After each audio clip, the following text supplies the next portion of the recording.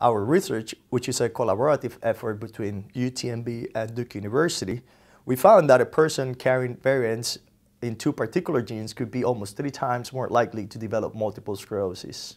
One of these variants is in a gene previously associated with multiple sclerosis, while the second variant is in a gene that has not been previously connected with MS until now.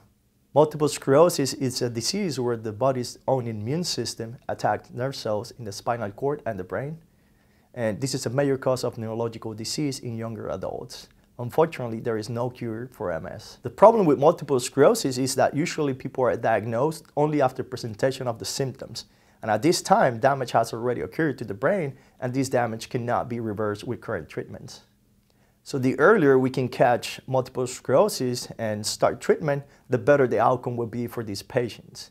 So we hope that this new information that we're uncovering in this study could someday lead to tests for earlier diagnosis of multiple sclerosis, but also to uncover new therapeutics to fight the disease and perhaps other autoimmune diseases.